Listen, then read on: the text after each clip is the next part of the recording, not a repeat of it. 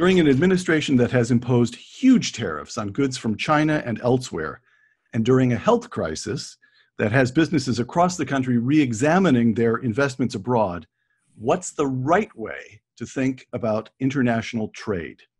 Is free trade still the best policy? Douglas Irwin is the John French Professor of Economics at Dartmouth College. He's the author of a number of books, including The Definitive History of American Trade Policy Clashing Over Commerce. Doug, thanks for joining us.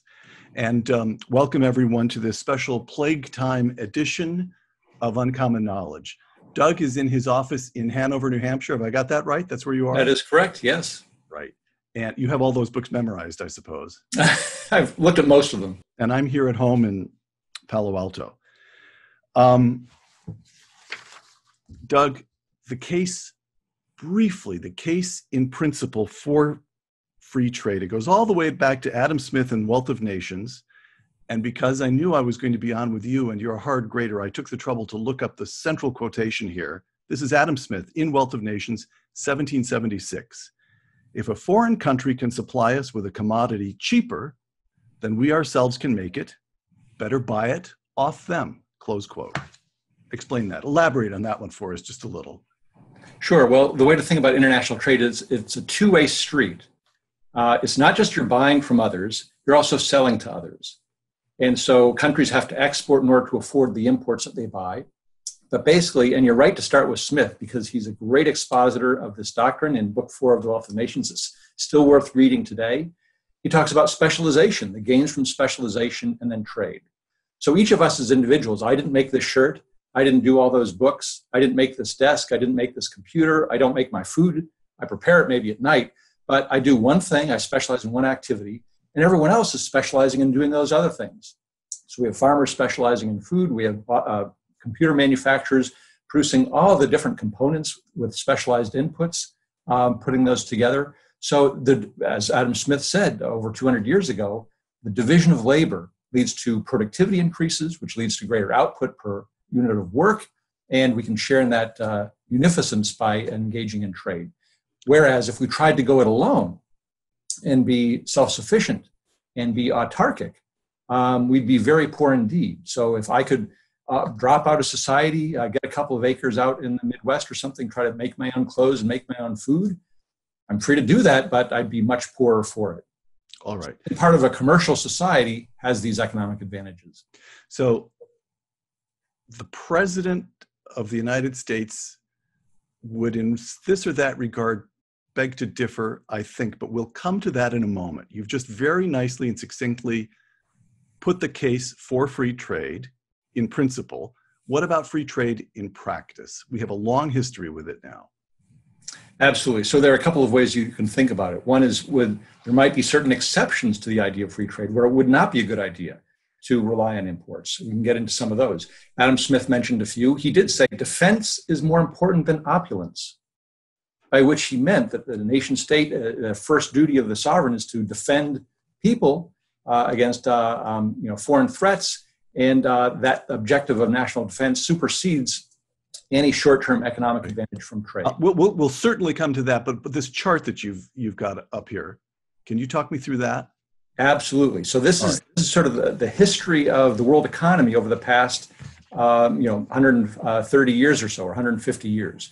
And so what it's showing is uh, world trade, sum of world exports and imports divided by world GDP or world output. Basically, it's showing how integrated is the world? How important is trade in the world economy? And it starts out, you know, in the uh, late 19th century. This is the era of the steamship, um, when there was growing world trade. And you can see uh, under uh, sort of phase one uh, that there's growing world trade, um, you know, uh, integration between Latin America, Western Europe, North America, East Asia, and what have you. And then, of course, we hit World War One, so that's a bump down. But after World War One, we did not resume the trade policies that we had prior to that. Countries imposed tariffs, countries imposed import quotas. They started moving in a more autarkic direction. So you see in phase you better define, uh, you've used it twice now, and I'm going to, if you're going to keep talking about autarky, you're going to force me to say, what the heck does that word mean? I have this dim okay. memory, monopoly, oligarchy, it's an, but I can't remember which one autarky is. Basically, it means self-sufficiency. You're trying to be okay. uh, um, uh, less engaged with trade. Autarky just means complete self-sufficiency, no trade. Obviously, very few countries are in that state. You know, even North Korea trades with with China a bit and a few others. Even Cuba um, trades a bit. Right. But uh, even though they don't like that trade, they've tried to isolate themselves. But, but in 1620, say the Pilgrims were autarkic. They exactly. sent a few. Right. Although the trade uh, started pretty quickly with Britain. Yes, they still relied on ships coming in every spring. Yes, they did. They um, did. So even they were right. not uh, completely autarkic. Okay, so number two, there's an arrow going down. Yes, so this is a, a time of international economic disintegration. Countries relied less on trade. They raised trade barriers to, uh, to stop the commerce that would have taken place otherwise.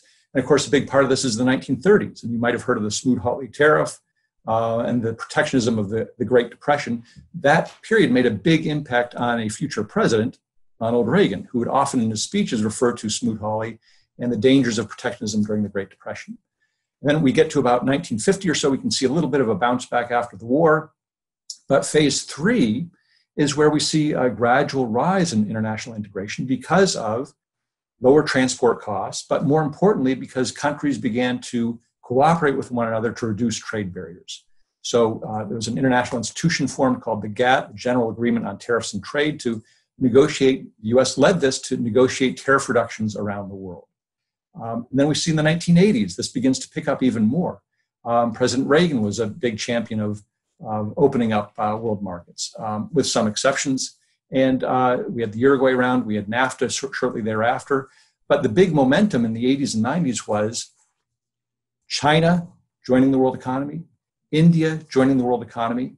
Um, in phase three, when things are rising, it's mainly trade between the US, Western Europe, and maybe Japan. But the rest of the world developing countries, which historically had imposed very high barriers themselves, they thought the way to get rich is to industrialize.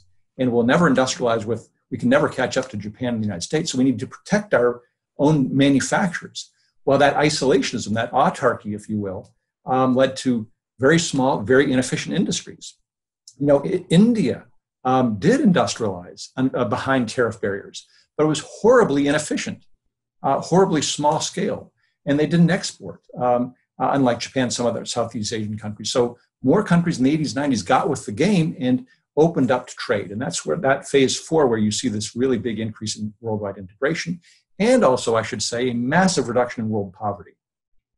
Okay, that accompanies trade. Opening up, you get better technology, become more efficient, and you can afford to pay higher wages because you have more economically active uh, population.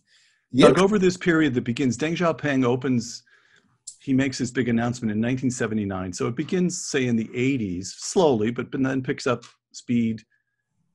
But let's say since 1979, when Deng Xiaoping announced that China was going to open itself to markets and to trade, how many people roughly has China, how many people have emerged from poverty in that one country? Well, I think uh, depending on where you draw the line, we're talking about hundreds of millions.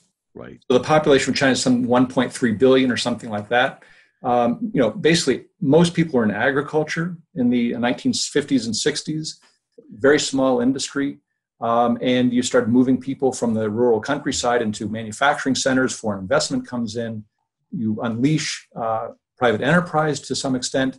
And uh, uh, so, you know, we're talking 500, 600, 700 million people moving from destitution and poverty into, you know, a lower middle class to middle class existence. All right. So that's a very dramatic event in in all of human economic Absolutely. history. Absolutely. So so number four, and then what happens at number five?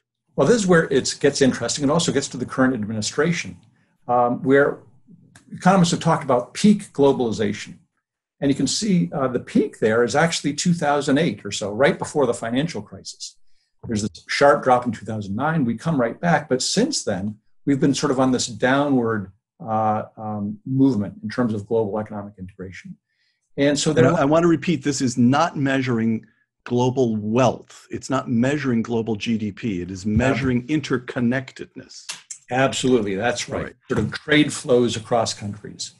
Okay. And so, um, yes, you got a question, but I, I was just well, going to say that we're at an, maybe an inflection point in history where the US and China are beginning to disengage um, this occurred before the Trump administration, but obviously they've accelerated it. I think the, the current coronavirus that we're going through is leading to greater suspicion between the US and China and other countries. That will further limit how many Chinese tourists come here, how many students we allow in. Um, you know, Hank Paulson, Dartmouth class of 66, has talked about an economic iron curtain coming down between the US and China. It's not quite there yet, in the sense we still have a lot of flows, but we may have reached this period where the world is moving towards less economic integration, more inward orientation. And this is partly policy, but it's partly a reaction to what's been going on in the world as well. All right. The case for free trade, you've made it in principle, Adam Smith. In practice, in China, it's lifted half a billion people out of poverty. What good has it done for us? Oh, it's, uh, it's we can communicate by these computers and by these cameras that are incredibly high quality that our parents certainly could never conceive of existing. I mean, my father used to uh, sort of work on the telecommunications industry in the late 1960s. There used to be something called picture phone. American Telephone and Telegraph thought about possibly having a picture that we associate with the telephone, and it never really came to fruition. And now, with the technology that we have that uh, is right on global supply chains, specialization, when you look at how many components go into the iPhone, they're sourced from all over the world, incredibly specialized uh, uh, technology that's really brought together. It's assembled in China. Um, it's not made in China, and uh, but it's really taken over the world and connected everyone. So that's okay. just one aspect of it. All right. Case for free trade, Professor Douglas Irwin. Thank you very much. Here's the case against free trade. This is from a paper by economists Justin Pierce and Peter Schott, who, as far as I can tell, are very serious people. They are. In which they, they are, you know them, in, in which they examined counties in this country, counties. They went county by county and examined counties most exposed to trade with China. Quote, we find that in counties most exposed to the change in policy, that is to the granting of permanent, normal trade relations to China in the year 2000. Quote, counties most exposed to this change in policy exhibit relative increases in wealth, in happiness, relative increases in deaths of despair, including suicide and drugs, drug overdoses, close quote. Okay. You, and Doug Irwin replies, there are winners and losers, but the losers get hit really hard, don't they? They do. Absolutely, they do. In this particular circumstance. So, uh, a, a, market economy is uh, one that Joseph Schumpeter said has a lot of creative destruction. Okay, so there's a lot of creation, new wealth being created, new industries growing up, new jobs being created, but there's also destruction. And uh, trade is part of that process. As I mentioned, it's a two way street of exports and imports. Some of those imports are things that we don't even produce here, that don't really touch, you know, I don't think uh, imports of bananas are very controversial. We don't have a banana industry that's clamoring for protection. Mm-hmm. Um, but some imports do compete head to head with domestic producers.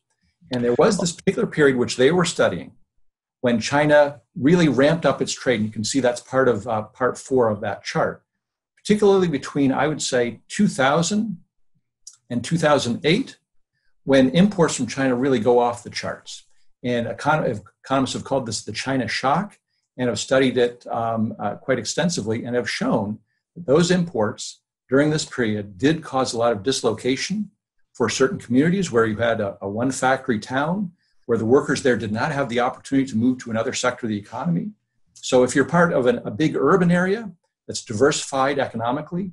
You lose your job in one sector, you can transition to somewhere else. If you're in a small town in rural Virginia that's pr- producing uh, uh, furniture, right? If you're not willing to move, you're sort of sunk.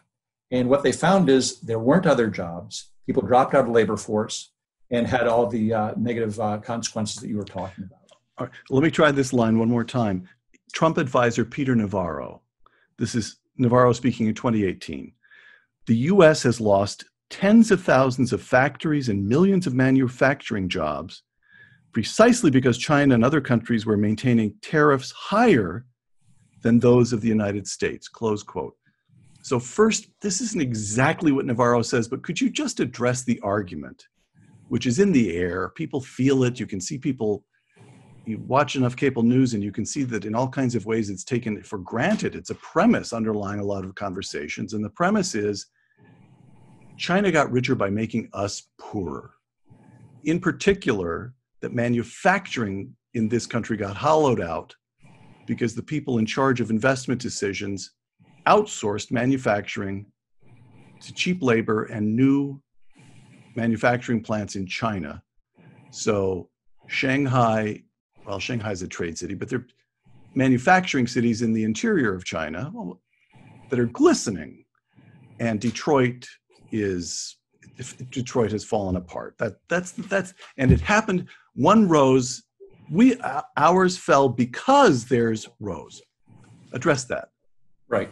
Well, so many points to be uh, made on, on this particular issue. So, first of all, consumers have benefited tremendously um, from cheap imports of various consumer goods. So, whether we're talking about clothing, which is now a much smaller share of people's budgets because the price has gone down so much, and that's not just China, it's Vietnam and many other countries as well. We're very aware of the imports and the dislocation they cause, and that study that you mentioned um, uh, talks about that. What we're much less aware of is the exports. And they're not necessarily going to China, but they may go, be going to other countries. So we may be exporting heavy earth moving equipment to Australia, you know, John Deere, uh, Caterpillar, and others. Exporting that to Australia, which is mining stuff that will get, then be shipped to China and right. then becomes uh, good. So you have to look at the totality. If you just look at the bilaterals, sometimes it's very misleading. Here's one example where the bilateral is misleading. Uh, the iPhone, which I presume you and many of your listeners have, um, you know, when that comes in, there it is. And I always ask my students, what does it say in the back? Because it doesn't no, say made in China. It says uh, designed in California, assembled in China. So when that comes in as an import, that counts as about a $200 per unit import from China. But guess what? Only about $5 of that is truly Chinese content. The labor to put it together and a few small components. Most of the value is obviously Apple in terms of intellectual property, but even the physical stuff, it's the semiconductors coming from Korea. It's the camera lens coming from Germany. It's the uh, uh, other chips that are coming from Japan. Really, that's a world product assembled in China, brought into the US. So sometimes the statistics can be misleading, but here's more to your point. But Once again, there's no doubt that there have been many towns and many places in, in the Midwest, say, that have, have suffered greatly. We've lost a lot of manufacturing jobs, although that has sort of uh, flattened out, uh, at least as a share of the labor force. But some of those jobs have been relocated within the United States. So auto manufacturing has moved to the South. So that's where unions and, and uh, labor laws have a lot to, of play. So if you look at uh, um, Alabama, a lot of manufacturers there, both domestic and, and foreign investment. So the Midwest is sort of not competing with other states of the union for, mm. for those jobs. Also, those jobs, they're so much more technology intensive than they used to be. So, uh, in terms of the steel industry, in the 1980s, uh, when we were cutting our teeth uh, in Washington, um, you know, it took 10 worker hours to produce a ton of steel. Now it takes one worker hour to produce a ton of steel. We're still producing a lot of steel, but it's just not a lot of jobs behind that. It's a few engineers right. who are monitoring the right. dials. And that's not foreign competition. Well, it is to the extent that we're being forced to compete, but it's also an increase in productivity. We're getting a lot more steel than we used to for many fewer workers than we had. But obviously, what that creates is a problem for those workers who aren't fortunate to go to Stanford or Dartmouth, who are not part of the knowledge economy, who are going to be doing something in terms of manual labor. And if you're not creating a lot of jobs for that class of people, it's going to cause a lot of difficulties. You cannot just graduate from high school or even not do that and get a, a job at the local factory. That's technological change. Uh, China is a, a part of that, but a very small part of it. So, what about Navarro's other point here? that China did this to us because they had tariffs that were higher than ours? Actually, you know, once again, I'll grant the, the, the partial truth or the, the uh, part of it that there has it been. Feels intuitively plausible, right? But no, yeah, but he, here's where he's sort of wrong because that China shock, that dramatic escalation in China's exports, that came about because they were reducing their tariffs on imported inputs and on final goods that made their producers so much more cost effective. You cannot export steel, you cannot export clothing unless you have access to the cheap inputs that are necessary to produce those final goods at world prices. And before, one reason why China was not competitive is because they had sealed their economy off. If you wanted to produce something, you had to source it domestically. Those producers were terribly inefficient. When they opened up and reduced those tariffs, all of a sudden their producers could get access to those cheap inputs made them much more cost effective, much more efficient, and they've overtaken world markets. All right. The case against free trade, part two, the new Cold War. You, you, you have already anticipated this argument. Here's Milton, Milton Friedman, uh, who, as you know, argued that one of the few arguments in favor of tariffs that might, in principle, have some validity is, and I'm quoting him now, the national security argument. The argument that a thriving domestic steel industry, for example, is needed for defense.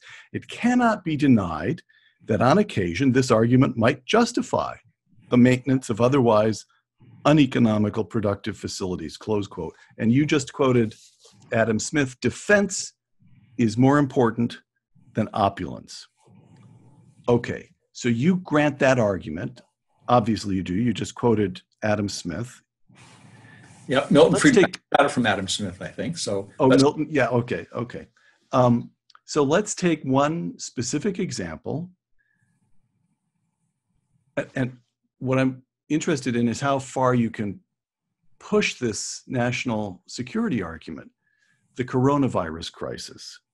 We now discover, since you're so up on trade, you may have known this all along, but it was shocking to me 90% of our antibiotics come from China. Senator Tom Cotton, quote, for two decades, the Communist Party of China has targeted America's domestic domestic drug manufacturers for, de- for destruction using cartelization, state subsidies, and lax safety standards to flood our hospitals and pharmacies with cheap and dangerous Chinese medicine. That's why I, Senator Tom Cotton, have introduced, introduced a bill to end our dependence on Chinese drugs and take back our ability to make medicine here at home. Close quote. Is he on to a point? Is he onto something? Does the national security argument extend to certain medical supplies? Well, I don't know so much about pharmaceuticals, which is the one he's talking about. And right. I imagine that if we were going to um, uh, limit our imports from China, we'd be importing those from Germany, perhaps Mexico, if there's some labor cost component that's important there. So it's not necessarily we'd bring it home, but we'd certainly have a more diversified uh, source of supply. And if it was that dramatic in terms of the 90% figure, that would be something to worry about and something to look at. But when we look at other things like masks, like respirators, we're not nearly as dependent on certainly China um, than uh, those figures would suggest. So if I looked up hand sanitizers, for example, turns out we get most of our hand sanitizers from the European Union and Canada. Now that's just in terms of the import. Wait, so you mean this stuff? That stuff, Canada and from the Union. Oh, really? Okay. Um, now, how much? That's just uh, in terms of the imports. Of course, we do produce that domestically as well. So imports are just a fraction of those of our total consumption. It's not like we're completely dependent on uh, uh, foreign sources supply for those things. So I think sometimes when you look at the numbers, well, you do have to look at the numbers for particular cases. We are very dependent on uh, for uh, on imports of uh, masks from China, but not so much other things. Respirators, most of that's coming from, also from the European Union. Gloves Malaysia and Thailand. So, you know, we have to consider, you know, are these national security threats or not? And one th- point that I want to come back to in terms of that dip in terms of uh, total globalization is there is a worry about China and overdependence on China. And uh, that's factoring into the fact that uh, this has not become a partisan issue, that both parties, leaders of both parties, are much more suspicious of China yes. than we were 10 years ago or so during yes. the China shock. And I think the number one reason for that is President Xi because President Xi has taken China in a very different direction than uh, his predecessors in terms of domestic repression, in terms of economic nationalism, in terms of foreign policy activism and aggression. And so, uh, the way the administration and others are turning, I think that's why we are at this inflection point where it's going to be very hard to have a rapprochement between these countries. We are moving in very different directions. Uh, and you grant that? Absolutely, and I think that uh, okay. uh, Pres- President Xi is largely the driver behind that. Right. That we hoped for in the past a more constructive and engaged China, and if they're choosing a different path, um, you know, this is not Deng Xiaoping's China anymore. Right. And our policy, we're going to have to make some adjustments on our. Okay, so that so this leads to my next question. Again, this national security argument. What's the right way to think about trade as regards China? It's very clear that I, I would say it's even more. Re, it's last five years or so that the whole attitude toward China has changed. Right up until five, Absolutely. certainly when you and I, you, I forgot to mention in the introduction, you served in the Reagan White House yourself. You and I were both there. From the time of the Reagan administration right through the Obama administration, most of the Obama administration in any event, the hope was that China would follow the pattern of South Korea and Taiwan, and that economic growth would lead to political freedom and ultimately to democracy. And of course, it's one thing engaging in more and more trade with a country that you expect to embrace ultimately your own values. And surely it's something entirely different with a country that has become, in all kinds of ways, hostile. Okay, so that's my little speech. Now back to now, now back to a question for you. And you'd grant all that that I just said, right? Yes, I do want to make a broader point about this national security argument, however, though, because okay. for one issue is the bilateral relationship with China. Yes. Okay. The other issue is are there other industries that we need to protect on grounds of national security and how that can be abused? Okay, stop. Time out because Okay. I'm about to make the argument that there are. And I want to see what you do with the argument. And the Okay. argument, and I'm trying to be quite rigorous about this. I thought this through. Okay. intimidate me, Doug. So I, I tried to make this rigorous. Here's the case. The Chinese system is point one. China is now hostile toward us. The diff, their system and ours are as incompatible in many ways as ours and the Soviet system. Point two, they're more populous. Their economy may soon be bigger. Our only long-term advantage, our ability to innovate. I'm talking about defending this country, the United States. Now, point three, as long as the Chinese steal our technology the moment we develop it, they can neutralize that advantage.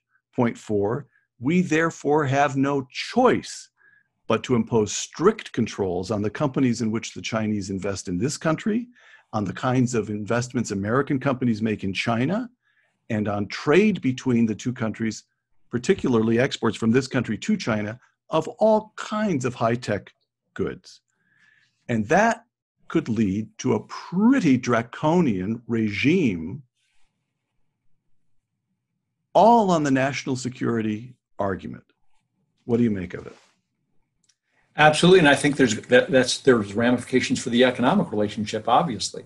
Um, so once again, we go back to defense is more important than opulence, but this is why this is a new and really interesting challenge for U.S. policymakers. Because go back to the 1980s again, with the Soviet Union, which was a security threat but not an economic threat. Right. Back in the 80s, we thought Japan might be an economic threat, but they certainly weren't a security threat. They were part of an Right. umbrella. And now we have China, which is both a security threat and an economic rival. And the question is, they don't seem to be playing by the rules that we've tried to establish after World War II that allowed that growth in trade because it was sort of more of a level playing field where we have market economy competing with market economy. And yes, there'd be individual sectors that would get subsidized or what have you. But when you have this blurring of business and party in China and uh, massive subsidies through uh, the state owned banking system and state owned enterprises, there's an imbalance there. So the most dovish, you know, in, in Japan, in the case of the 1980s in Japan, you might remember in the Reagan administration, there was a division between the, the black hats and the white hats about how do we, how tough do we get on Japan. Um, there's much less of a debate with vis-a-vis China. You know, the most dovish people in Washington today vis-a-vis China, they want to go after them aggressively at the World Trade Organization and have alliances that will encircle or try to establish rules and norms that exclude China. That if China wants to join, they have to change their policies, such as the Trans-Pacific Partnership. So that's the most dovish, dovish case. Uh, it's not that there's no kid gloves here. It's that um, you know you you use the rule of law and you uh, um, uh, try to encircle them with uh, various trade agreements and alliances. That's about as dovish as one can get. And then uh, you're talking about ramping up um, security, counterintelligence, cracking down on their activities here in the U.S., uh, all the way up to uh, a full-fledged trade war. So that's the spectrum. On, it's really shifted in terms of the just the the where we're talking about. And oh, so where I have to admit, this show, it shows it's been a while since you and I had a talk about this because you're surprising me a little bit, and you may surprise me a lot. I thought you were going to argue something along the lines of it doesn't matter how crazy China is within limits. We don't want them launching missiles at us. But if they want to subsidize products to this country, let them. We, that means why shouldn't we take goods that they have that make their own people pay for? I thought you were going to argue that we ought to stick with free trade with China in spite of Xi. But you don't make that argument, do you? I don't make that argument because I do think President Xi is. Would Milton have made that argument? You know, that, that, I was just thinking exactly that same thing because I do re- recall that you know he and others who are strong free traders would say, "Look, if they want to subsidize their goods to us, take it, them. Take them. It's it's cheap for us to do so." Um, but I think when it, it causes um, excessive disruption domestically, and when they are a national security threat, it's a it's a completely different ballgame. You know, we set up a set of international institutions after World War II to provide a legal framework for market economies to trade peacefully and prosperously uh, with one another. And China is sort of entering this. We allow them to come in because they were moving in that direction, just like Eastern Europe, formerly communist, but moving in a more market oriented direction, more democratic direction. China seemed to be doing that in the 1990s, at least in terms of the economy, deregulating, less emphasis on the state owned enterprises. But once again, since uh, 2010 or so, um, they've moved in a very different direction. So obviously, our policy has to uh, adjust. Okay, so Doug, let me quote you to yourself. Two quotations, and they're both you. This is Doug Irwin. This is you writing with your co author, Chad Bown, in Foreign Affairs last autumn, not that long ago. Mm-hmm. Quote A future administration will be able to start repairing the United States' tattered reputation, all these things that the Trump administration has done, the United States' tattered reputation as a reliable trading partner. In some respects, however, there will be no going back. On China, it has become clear that the Trump administration is bent on severing, not fixing, the relationship. Close quote. That's you six months ago. Now this is you. Can I comment right there, or do you want to no, go? No, no. You have to get both of you. have to sit tight. You have to sit there and take it. You have to listen to you last month. This is in an interview with Globes, a, a publication in Israel. This is you. Under President Xi Jinping, the Chinese have made the private sector political by insisting that Communist Party members must be on the board of directors and in management positions that they have made, and they have the Made in China initiative, which is explicit economic nationalism. The question is whether there can be a comprehensive trade framework containing state, state capitalism, China, and market capitalism, the US, under the same umbrella. My tentative answer Doug Irwin's tentative answer is no. Close quote. So, in the space of six months, you have come to agree with Donald Trump? Absolutely. Now, I'll take fact, it. I think there's, there's no inconsistency between those two quotes. And so let me. All right, go ahead. The tattered reputation, first of all, because this brings us back to this national defense exception to the idea of free trade. Because when the Trump administration imposed 25% tariffs on imported steel from all sources, it was on grounds of national security. They right. invoked a statute that said the president has this authority to protect national security. So the question is, what was going on with the steel industry? Well, first of all, where do most of our first of all, uh, we only import about 27% of the steel that we use. Okay, so we produce basically three quarters, 75% of the steel we use. It's hardly a, a shrinking, shriveling uh, uh, sector where we're completely dependent on imports. Second of all, where are those imports coming from? Canada, European Union, Japan, Korea, friends and allies. Not China, because China's imports of uh, our imports of uh, steel from China, they had already been beaten down by something called anti-dumping duties, where domestic firms can petition the government to have higher tariffs to keep out those imports. So they, they in the 1990s and the 2000s uh, imports of steel from China, they were beaten back with these anti dumping duties. So there's a case where most of our imports, which are only a fraction of what we're consuming, are coming from our friends and allies and neighbors. We're hitting them with the 25% tariffs. We've already hit China. It's not really hitting them, it's not hitting Russia. And so our friends and allies were wondering, what is going on? And um, uh, Jim Mattis, your colleague at Hoover, I believe, uh, he was Secretary of Defense at the time. The Defense Department, as you know, there's an interagency process. They wrote a letter to the Department of Commerce, which was overseeing this, saying, from a defense standpoint, there is no national security dependence on imports, that is unwise. And in fact, because we import from our friends, any duties that we would impose might compromise our national security by leading our friends and allies to question our reliability as a trade partner. So you might think if the Defense Department is saying there's no national security case for imported steel, for imposing tariffs on imported steel, most of the steel, which is once again a small share, you know, modest share of domestic consumption, is coming from our friends and allies, that this would be something that they might take a second thought of. Uh, uh, but on the administration, because of uh, Wilbur Ross in the Commerce Department, Peter Navarro, and others, they went ahead. Peter Navarro predicted no country will retaliate, they will just take it. And what did other countries do? They retaliated. So that's where American farmers and others have paid the price of those imported steels ostensibly on the grounds of national security. All right. Why did the Trump administration do what it did on steel? Was that just politics that Donald Trump wanted to pay back voters who had supported him in the upper Midwest in steel producing states? Or was it some crude and just flatly mistaken view that somehow or other protection protection will help our the the domestic industry modernize, grow stronger, start employing more people, or some crazy some combination of the two? What what what were the motives there? I'd say I'd make two points on this. One is that you had uh, uh, Robert Lighthizer, who's the U.S. Trade Representative, used to be uh, a counsel to the steel industry. Wilbur Ross used to work with the steel industry. President Trump has ties with the steel industry in terms of um, executives and, and trying to win blue collar votes. So there are a lot of senior administration officials. They were just trying to help their pals. Help their pals. Um, okay. And and here's one way in which I do think it has been very damaging to not just our credibility, but to our economy, because Ford Motor Company had to pay a billion dollars more in extra costs. So if we're saying Ford, we want you to compete against Toyota and compete against Kia and Hyundai, but we're going to raise your costs by a billion dollars a year because if you're producing overseas, you don't have to pay those higher steel costs. We're handicapping our own consuming industries, our steel consuming industries, where there's vastly more uh, more employment than in the, the raw steel product producing sector.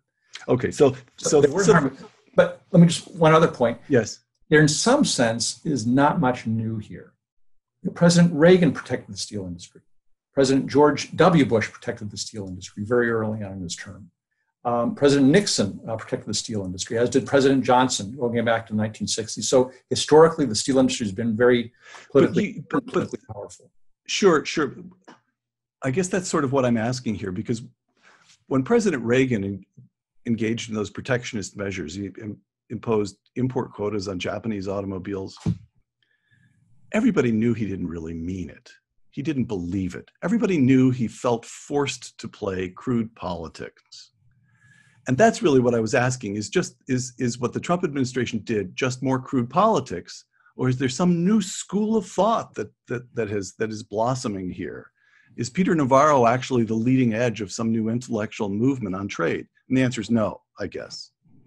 Well no, no i'd say there, there's some nuances there because there are members of the sort of conservative movement who do believe that uh, we these tariffs are a good idea um, but I guess I'd put it this way: is that you're absolutely right. When President Reagan did these things, it was with reluctance. He had to be right. there's some political necessity, maybe some short-term economic gain for the industry, uh, but long-term, he wanted to get rid of it, um, or it might have been a bargaining chip or something like that.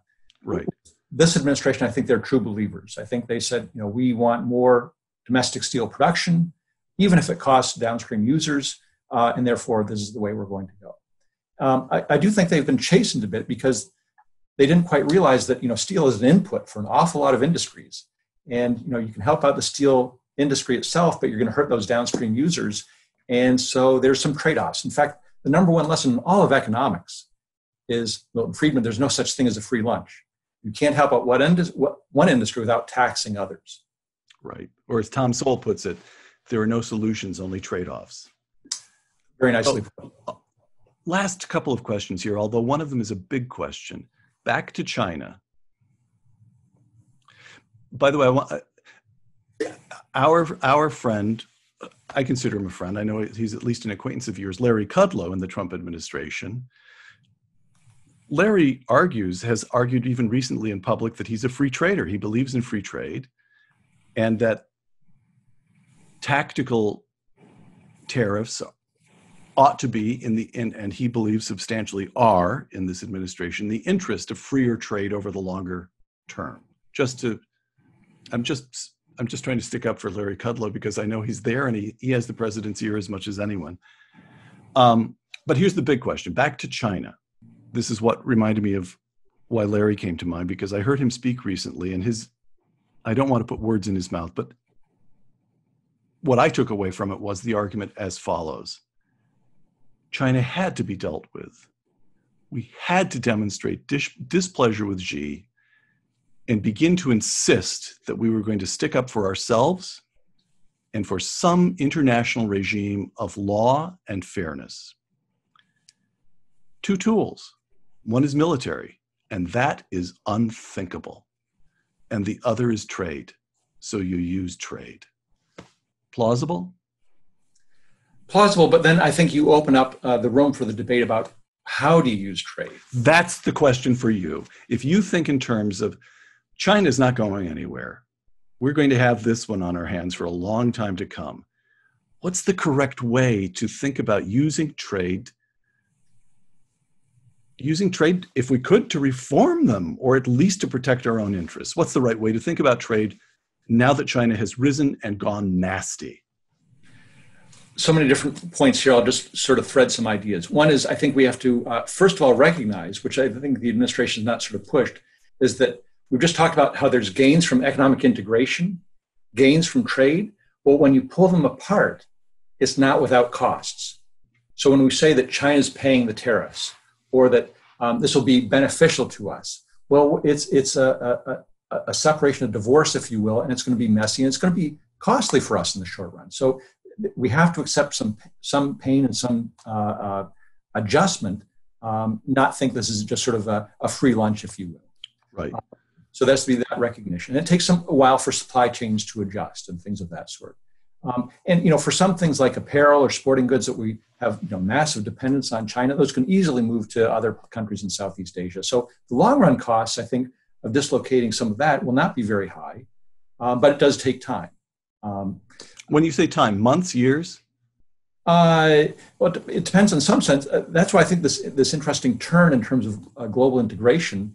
Um, I think there's a recognition that even if tariffs haven't been imposed, that the relationship is going sour. That um, that you could be held up in China for political reasons or what have you. And so I think firms are adjusting and slowly moving to other countries. And and, and then the coronavirus would have would speed that. I, am asking. You're talking about things that are totally independent of the Trump administration. Yes. And yes. and and yet, as you pointed out on your chart, the the disintegration, not total disintegration, but the beginnings of a disintegration dates back to 2008 or so. That predates exactly. Trump. And exactly. now the coronavirus, Donald Trump may have his faults, but he didn't cause the coronavirus. Yeah. As best we can tell, the Chinese should have done a much better job of reporting on it. It's another reason why the relationship with China is in doubt. So if you're Absolutely. an American business guy or gal, you've got plenty of reasons, even before Donald Trump comes along, to start thinking about shifting your supply chain so that you're less dependent on China. Okay, grant all that.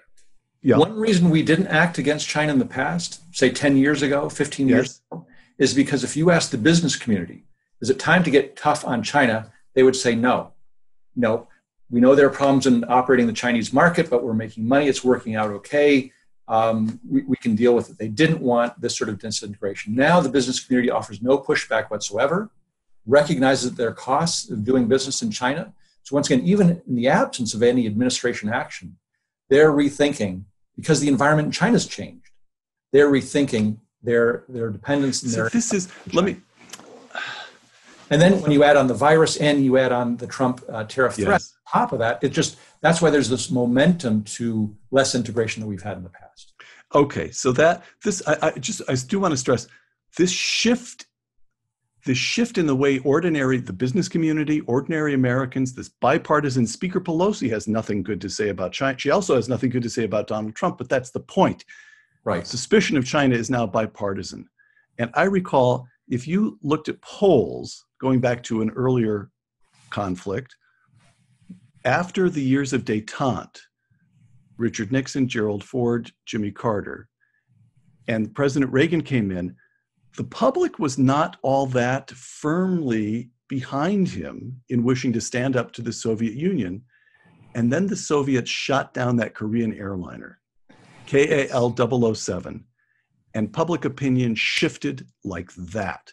We haven't seen anything perhaps quite that dramatic, but this coronavirus, we're a democracy, and it feels as though the American people are saying, whoa, we, or, or just the other day, I ordered these AirPods and I ordered them off the, because they're supposedly better on the camera and our producer, fine. And then I got the tracking number from Apple and I clicked on it and they were coming from China.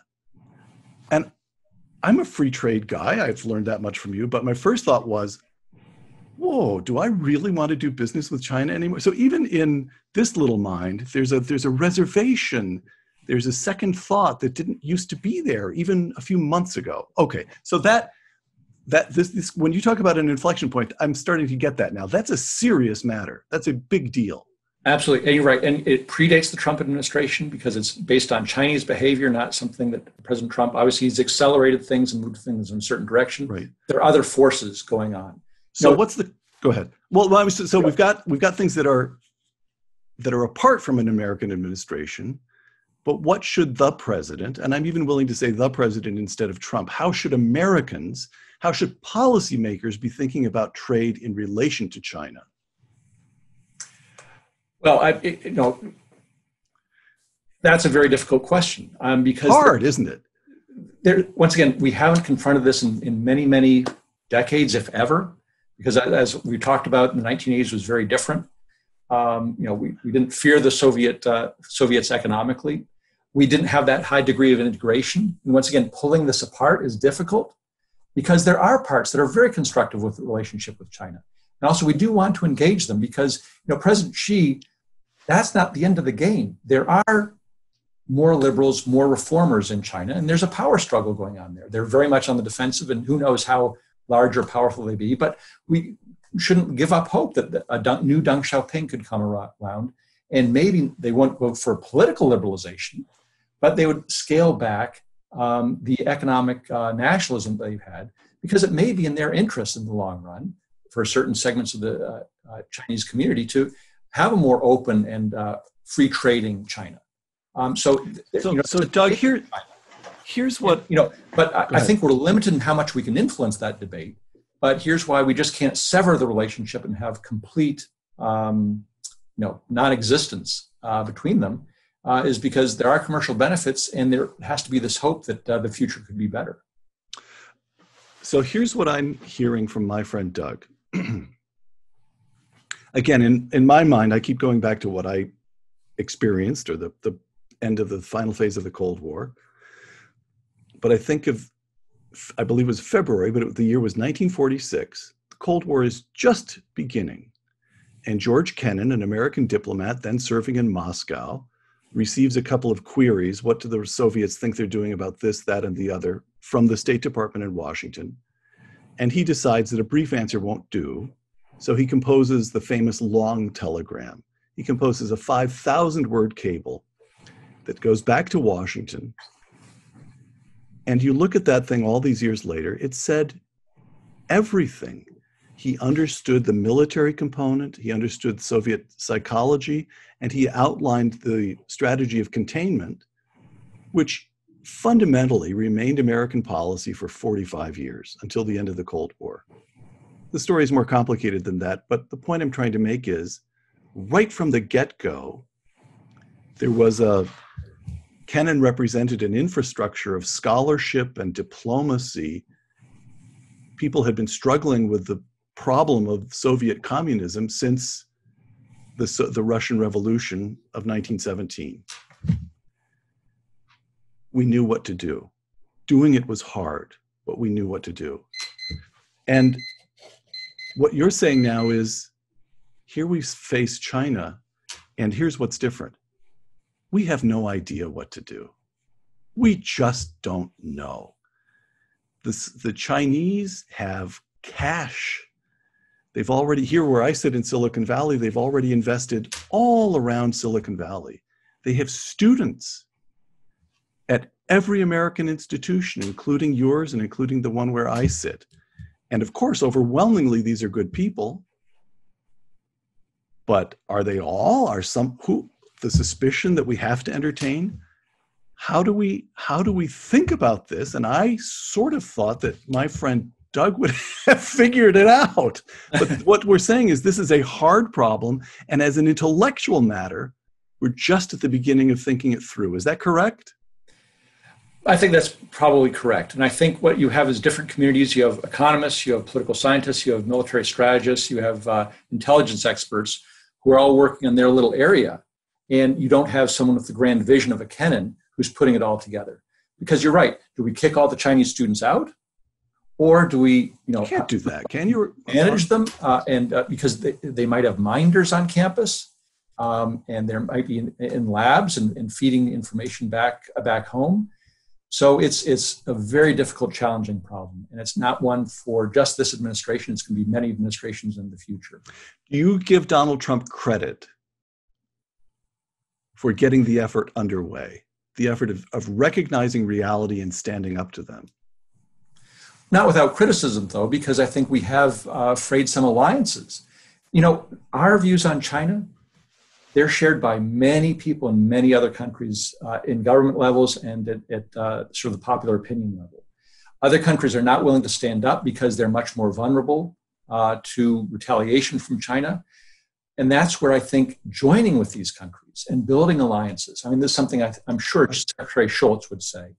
You can't go into this fight alone um, we do have the world uh, who is very much on our side on many of these issues. Um, but once again, they need leadership because they can't do it alone. And they'd feel much safer if we were taking the lead and bringing them along with us. And also, we'd be much more effective vis a vis China if we had many other countries on our side doing things in concert with us uh, against uh, uh, uh problems that we have with them.